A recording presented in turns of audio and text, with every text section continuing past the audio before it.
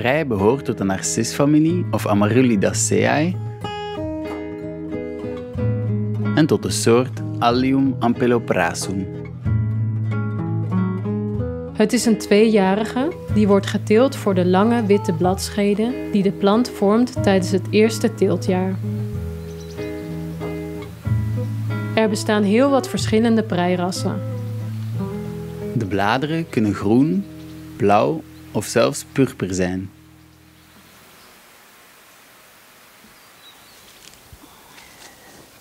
Sommige rassen telen we vroeg in het jaar, andere laat.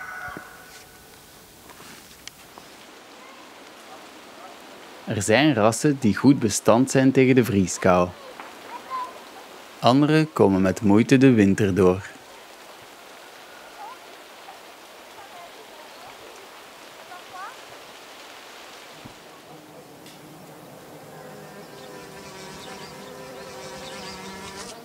Bestuiving.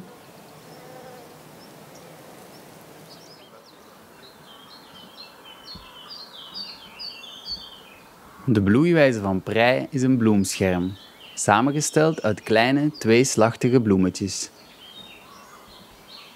Die kunnen echter niet zichzelf bevruchten.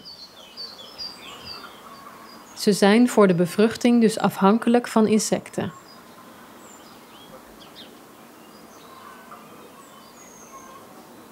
Prei is met andere woorden een kruisbestuiver.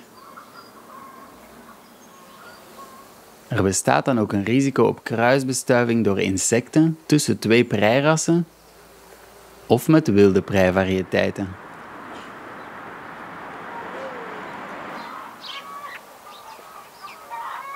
Prei kruist echter niet met uien, bieslook of zwarte look.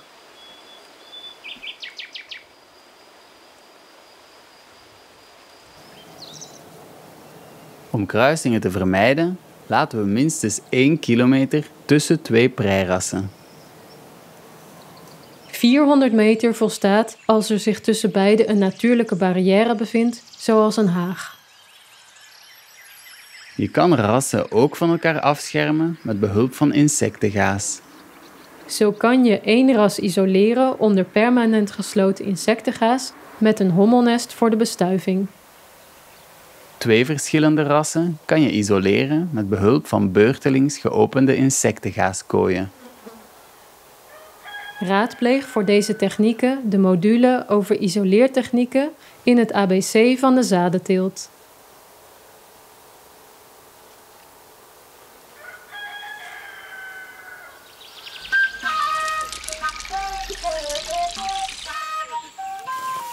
Teeltcyclus.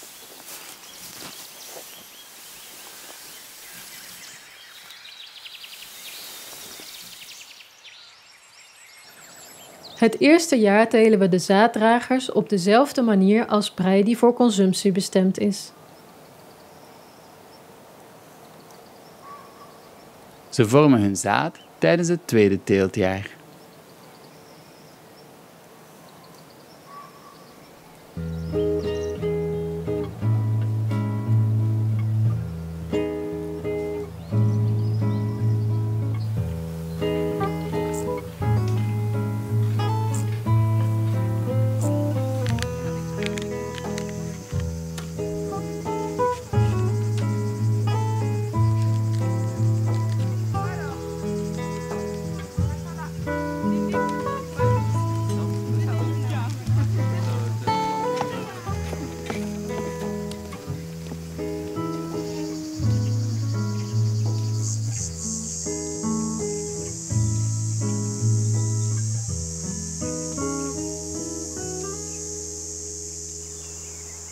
Verwijder preiplanten die al in het eerste jaar doorschieten.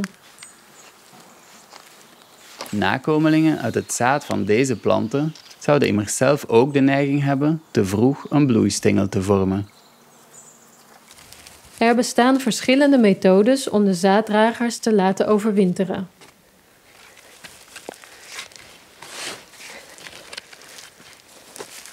In streken met strenge winters graven we ze uit voor het hart begint te vriezen.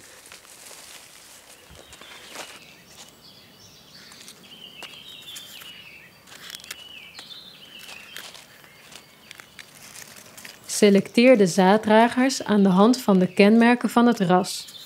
Vroegrijpheid, lengte en dikte van de prei, bladkleur, winterhardheid en ziekteresistentie. Kies 30 planten uit, want de kans is groot dat een deel ervan verloren gaat tijdens de winterse bewaring. Kuil ze in op een koele maar vorstvrije plek. Bepaalde zomerrassen zullen op deze manier beter de winter doorkomen.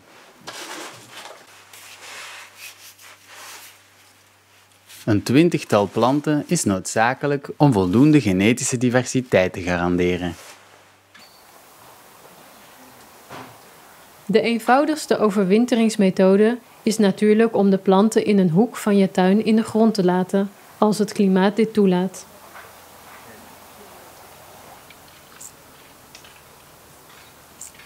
In de lente planten we de ingekuilde prei weer uit in de volle grond.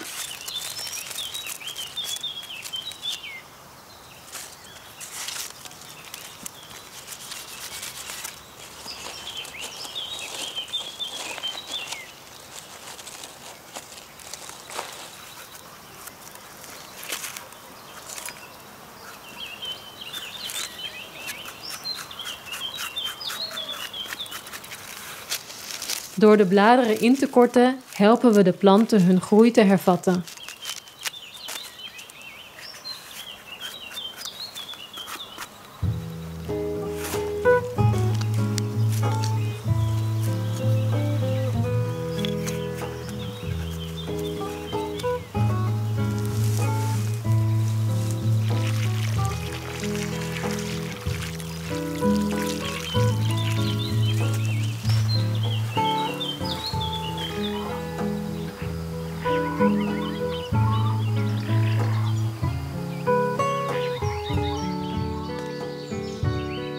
Weldra komen de bloeistengels tevoorschijn.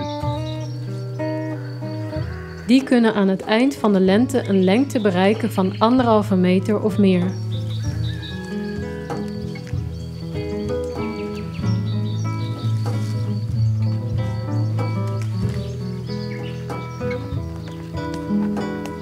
Zorg voor ondersteuning om te vermijden dat de planten omvallen en zaad verliezen.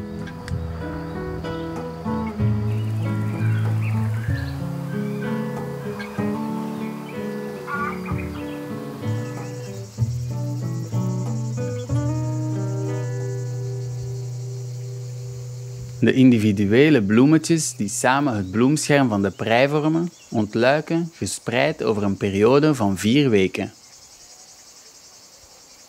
Het duurt dus erg lang voordat de schermen helemaal rijp zijn. De bloemen veranderen in zaaddoosjes. Het zaad is rijp wanneer die helemaal droog zijn en opengaan. Zwarte zaadjes komen nu tevoorschijn. Knip de bloemschermen samen met een stuk van de stengel af en steek ze in een geweven zak. Laat ze drogen op een warme, goed verluchte plek. In koude en regenachtige streken kan je de zaaddragers in hun geheel oogsten voor al het zaad rijp is. Zo vermijd je dat het door wind of regen op de grond terechtkomt. Laat de planten op een droge plek narijpen.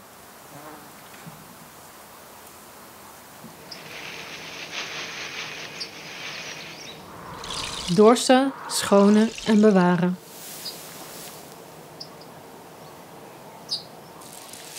Prijzaad kan je op dezelfde manier dorsen, schonen en bewaren als uienzaad.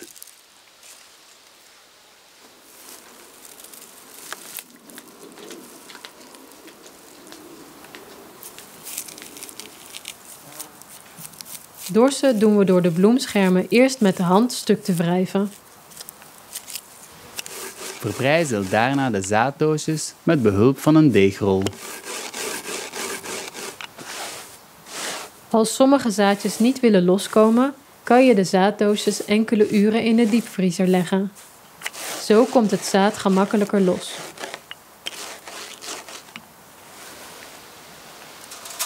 Schonen doen we met een fijnmazige zeef die het zaad tegenhoudt en het stof doorlaat.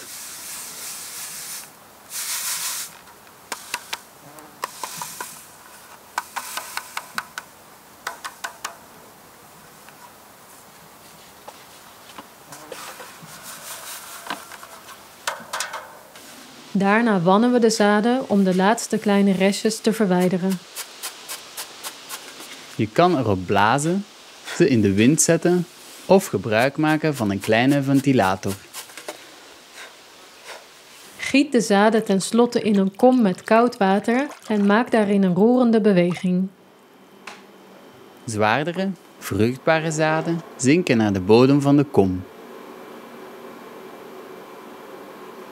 Lege, onvruchtbare zaden en andere resten die aan de oppervlakte drijven, kan je nu gemakkelijk afschuimen. Leg het vruchtbare zaad daarna meteen te drogen op een bord. Zodra het droog is, vloeit het zaad als zand.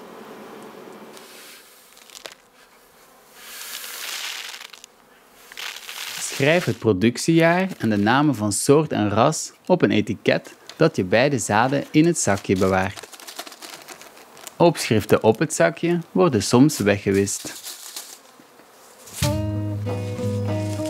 Enkele dagen in de diepvriezer maken korte metten met bepaalde larven van parasieten.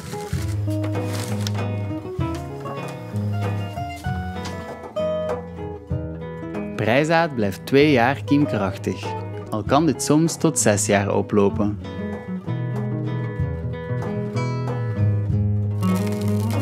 Omdat het zo snel onvruchtbaar wordt, loont het de moeite het zaad in de diepvriezer te bewaren. Zo blijft het langer kiemkrachtig.